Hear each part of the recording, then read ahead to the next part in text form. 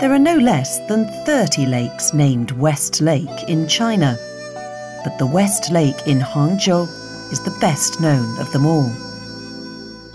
It is located in Hangzhou, the capital of Zhejiang province on the southeastern coast, and the city is known as the paradise of the world in China. Thousands of years ago, the West Lake was connected to the sea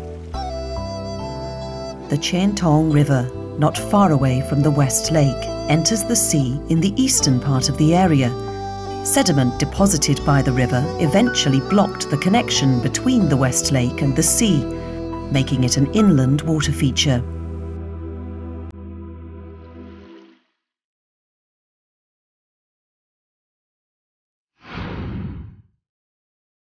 Since the 9th century AD, the beautiful scenery of the West Lake in all seasons has appeared time and again in poems, stories, and legends.